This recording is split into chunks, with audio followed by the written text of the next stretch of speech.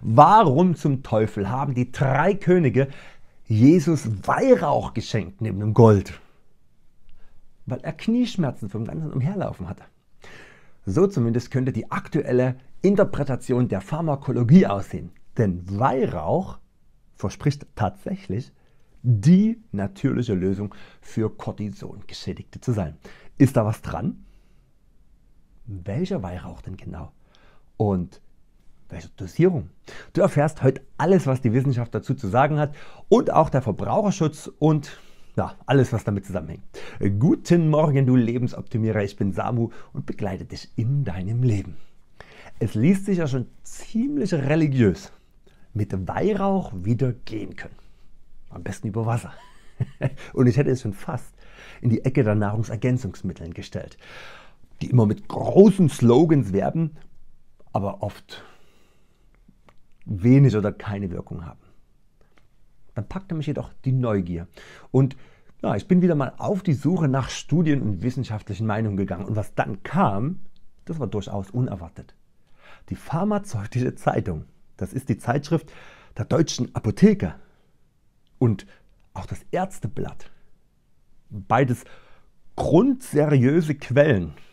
Ja, so sehr seriös, fast zu seriös, thematisieren den Weihrauch und sprechen davon, dass O-Ton Weihrauchextrakte für untersuchte Anwendungsgebiete teilweise mit Erfolg eingesetzt worden seien.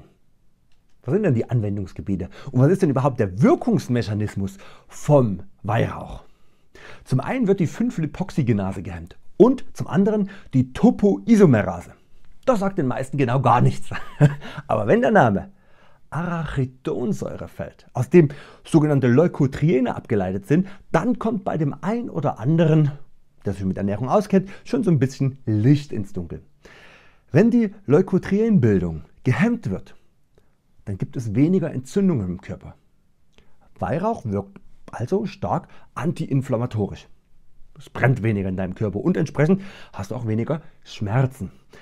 Die Topoisomerase-Hemmung legen wir einfach mal beiseite.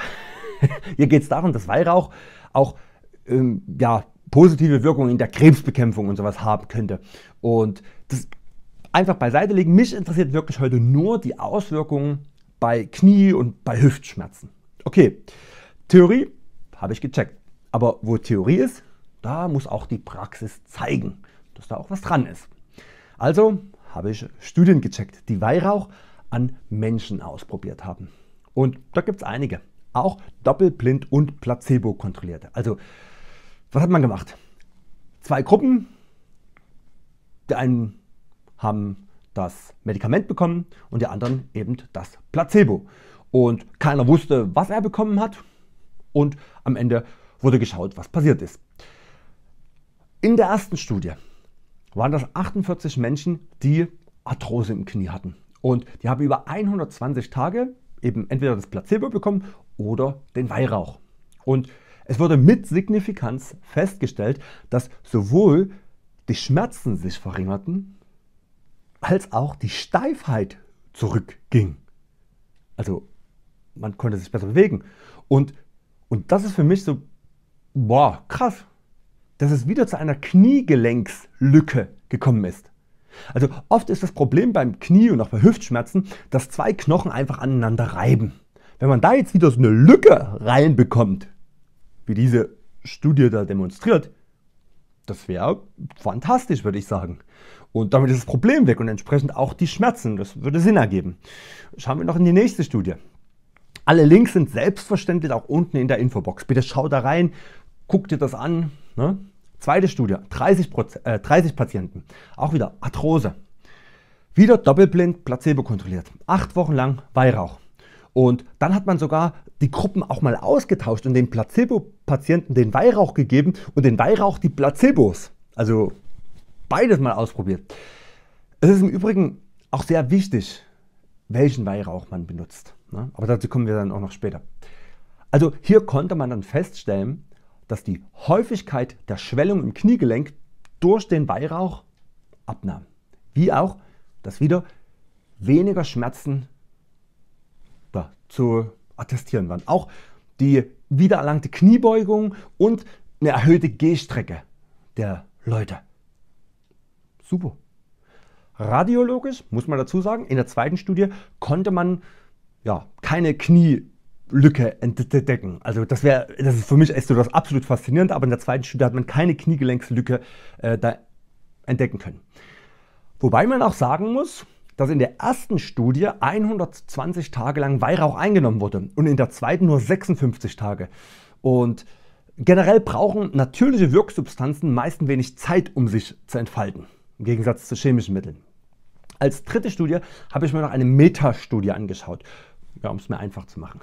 Metastudie bedeutet, ja, dass diese Studie sich das Ziel gesetzt hat, einfach alle relevanten Studien zu diesem Thema durchzuschauen und das Wissen zusammenzufassen. Das ist mehr oder weniger das, was ich in meinen Videos auch immer tue. Schaue mir ganz viele Studien an und versuche das zusammenzufassen. Und jetzt habe ich noch eine Metastudie, jetzt fasse ich die Metastudie und die anderen Studien noch zusammen. Und das, die Metastudie, das hat in diesem Fall die äh, Universität in Plymouth oder Plymouth, keine Ahnung wie es ausgesprochen wird, in Großbritannien übernommen. Das fand ich auch gut, weil die ersten beiden Studien, die kamen aus Indien. Also kein Rassismus oder sonst was, aber natürlich haben die Inder ein Interesse daran, dass der Weihrauch vertrieben wird, weil eine Sorte kommt auch aus Indien. Man ist ja, zumindest ich, da relativ sensibel geworden. Auch wenn die Unternehmen Studien finanzieren, entdecke ich bei mir sofort auch immer so eine, eine Abwehrhaltung. Aber oft zu Unrecht. Oft zu Unrecht. Daher logischerweise die Unternehmen, die etwas verkaufen wollen, auch irgendwas Wissenschaftliches in der Hand haben wollen und den Menschen präsentieren. Sie wollen ja ihre Produkte auch verkaufen und die durchaus gut sein können. Ne? Naja, jedenfalls hat die Universität aus England dann ziemlich harte Kriterien angelegt und aus 47 Studien, die, die es zum Weihrauch gab, nur sieben zugelassen. Und also die wirklich wissenschaftlichen und wirklich strengen wissenschaftlichen Standards gerecht werden konnten. Und dabei hat man festgestellt, dass die Studien und die Ergebnisse von diesen Studien wirklich von guter methodischer Qualität waren und die Effekte, die quasi in diesen Studien mit diesem speziellen Weihrauch beobachtet wurden, festgestellt wurden, man wirklich als klinisch wirksam bezeichnen kann. Wirksam gegen rheumatoide Arthritis und gegen Arthrose. Das, was uns eigentlich interessiert. Aber auch gegen Morbus Crohn, was Sinn macht, wenn es stark antiinflammatorisch wirkt und auch gegen kollagene Colitis, was auch eine chronische Entzündung im Darm ist. Ein bisschen anders gelagert als Morbus Crohn, aber auch sehr unangenehm. Uns interessieren ja die Knieschmerzen. Und da gibt es auch eine Studie, die Weihrauch eher als neutral beschreibt. Und die wurde an einem deutschen Klinikum in Ratingen durchgeführt. Dort hat man die Effekte auch nach 6 bzw. 12 Wochen gemessen. An 17 bzw. 18 Patienten, glaube ich, waren es. Entsprechend ist die pharmazeutische Zeitung auch eher vorsichtig in ihren Formulierungen und verweist darauf, dass man auf jeden Fall hohe Dosierungen nehmen sollte, um klinisch messbare Effekte zu erreichen. Sie unterstreichen auch nochmal, dass es keine nennenswerten Nebenwirkungen gibt. Das Ärzteblatt lehnt sich da schon ein bisschen weiter aus dem Fenster und meint, dass in 60 bis 70 Prozent der Fälle einer chronischen Polyarthritis ein Rückgang der Schmerzen und auch der Schwellung und der Gelenksteifheit zu erwarten ist.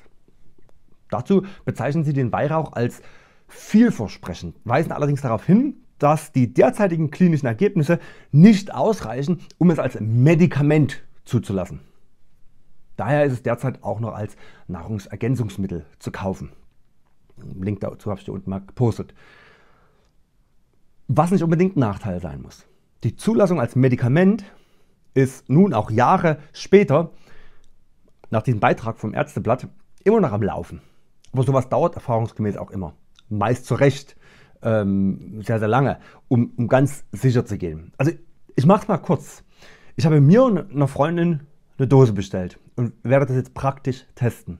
Wichtig beim Kauf ist, dass du nur eine spezielle Form des Weihrauch nimmst. Es gibt den indischen, das ist Boswellia serrata, es gibt den arabischen, das ist Boswellia sacra und den afrikanischen, das ist Bo Boswellia papifera. Hoffe, ich habe es recht hinbekommen. Alle Studien sind aber immer nur mit dem indischen Weihrauch durchgeführt worden. Deshalb auch so ein bisschen meine, ja, meine Bedenken bezüglich der Studien, die aus Indien kommen. Also, ich habe den, äh, den Weihrauch, den ich gekauft habe, den habe ich dir unten verlinkt. Ich habe mich da ein bisschen informiert, welcher Weihrauch und welche Dosierung und ja, guckt einfach hin. Ihr könnt natürlich kaufen, was ihr wollt oder gar nicht kaufen, aber damit du weißt, was ich getan habe. Die Studienergebnisse sind zumindest für mich ziemlich eindeutig und da ich selber durch den vielen Sport, den ich in letzter Zeit gemacht habe, Knieschmerzen habe und die Freundin ziemlich heftige Hüftschmerzen und der Weihrauch keine nennenswerten Nebenwirkungen hat, werden wir separat voneinander das einfach mal ausprobieren. Die Dosierung werde ich mit 1200 bis 1500 Milligramm pro Tag ansetzen. Erstens spricht selbst die pharmazeutische Zeitung davon, dass man hoch ansetzen sollte und zum anderen sind auch in den erfolgreichen Studien auch immer mindestens 1200 Milligramm zum Einsatz gekommen. Was sagt denn der Verbraucherschutz dazu? Also bei aller Begeisterung rate ich immer auch immer dazu, die kritischste seriöse Quelle anzuschauen, die ihr findet. Und das ist oft der Verbraucherschutz. Der Verbraucherschutz besticht eigentlich konstant damit, dass er alles Neue erstmal als nicht sicher bezeichnet. Und das ist auch gut so. Das ist auch gut so, der den Verbraucher schützen soll und nicht das Ziel hat, das Optimum aus dem Leben herauszuholen. Was, was hat denn der oder, oder was dem Verbraucherschutz zu den Weihrauchprodukten am wichtigsten ist, das fasst er am Anfang zusammen. Und das sind die vier Punkte und die möchte ich dir jetzt wiedergeben. Was sagt der Verbraucherschutz dazu? Erstens, Weihrauchwirkstoffe dürfen nicht mit arzneimittelähnlicher Wirkung beworben werden. Da gibt es eben einfach aus der Tatsache, dass es eben noch kein zugelassenes Medikament ist. Zweitens, nicht immer sind die beworbenen Boswellia-Säuren, das ist der Wirkstoff in dem Weihrauch, im Produkt zu finden. Ja, klar. Gibt immer, es wird immer Anbieter geben, die dich betrügen mit Wirkstoffen und irgendwas verkaufen, was da nicht drin ist. Äh, ja, gut, dass der Verbraucherschutz da nochmal darauf hingewiesen hat. Drittens, es sind Wechselwirkungen mit anderen Medikamenten möglich. Ach, das ist quasi bei jedem Nahrungsergänzungsmittel der Fall. Und ja, natürlich auch richtig, aber praktische Relevanz hat es nur in den wenigsten Fällen. Und viertens, Menschen, die schon erkrankt sind, sollten Weihrauchprodukte nur nach Rücksprache mit ihrem Arzt einnehmen. Ja, im Westen nichts Neues. Also auch der Verbraucherschutz gibt auf seine Art und Weise mehr oder weniger sein Okay, zumindest in meiner Interpretation. Wenn du das anders siehst, bitte ja, schreib das in die Kommentare. Achten solltest du allerdings auf jeden Fall immer, dass der Anbieter den Weihrauch auf Schadstoffe, Schadstoffe wie die Schwermetalle kontrolliert. Das habe ich bei dem Produkt, welches ich gekauft habe, natürlich auch gecheckt. Ähm, habe auch ein Produkt genommen, die quasi komplett die ganze Kette von der Produktion bis hin zum Verkauf, wo das alles quasi in einer Hand ist und das ist mir immer persönlich lieber. Den Link, wie gesagt, habe ich dir unten auch gepostet und natürlich auch den Link zu allen Studien und allen Meinungen rund um den Weihrauch. Alles das, was ich für meine Recherche genutzt habe, ist unten in der Infobox. Kannst du dich selber ein bisschen reinwühlen, natürlich auch bei YouTube nach Weihrauch mal suchen. Und genau, also Boswellia serrata, ganz wichtig. Ich bin gespannt und frag einfach mal in die Runde, hast du schon Erfahrung mit diesem Baumharz bzw. mit dem Extrakt daraus? Falls du es auch zeitgleich mit mir ausprobieren willst, dann wäre es richtig klasse, wenn du mir deine Dosierung aufschreibst und nach Beendigung des Experiments oder auch zwischendurch auch mal deine Erfahrungen mir postest. Wie du weißt, habe ich mittlerweile so ein kleines Projekt am Laufen, wo ja, ich eigene unabhängige Studien gemeinsam mit meinen Zuschauern innerhalb des äh, Raw Spirit Projektes durchführe, um zu sehen, was wirkt und was nicht. Also nicht nur, dass ich das jetzt bin, der das kommuniziert, und für mich aufschreibt, sondern ja, ich versuche das seit ein paar Wochen mittlerweile auch größer zu fassen und ja, würde mich freuen, wenn dann Menschen, aber bitte, ne, bei sowas ist natürlich, es ist, ich kann da keinen wissenschaftlichen Standard anlegen, weil ich habe zum einen das Geld nicht und zum anderen, ja, bin ich nicht anerkannt als äh, irgendwie, wie soll man das sagen, Institut und ich äh, strebe da auch nicht danach, sondern äh, ich vertraue einfach darauf, dass das, was mir gesagt wird, auch so ist. Und äh, werde das natürlich dann auch mit den entsprechenden statistischen Mitteln, ich habe das ja studiert, äh, quasi dann auch etwas normieren, Extreme abschneiden und ja, für mich dann und für euch natürlich auch dann irgendwann posten und so einfach authentisch, authentisches Wissen aus Erfahrung von Menschen als eine zusätzliche Quelle, das möchte ich gerne auch immer wieder betonen, nehmt viele Quellen zur Information, aber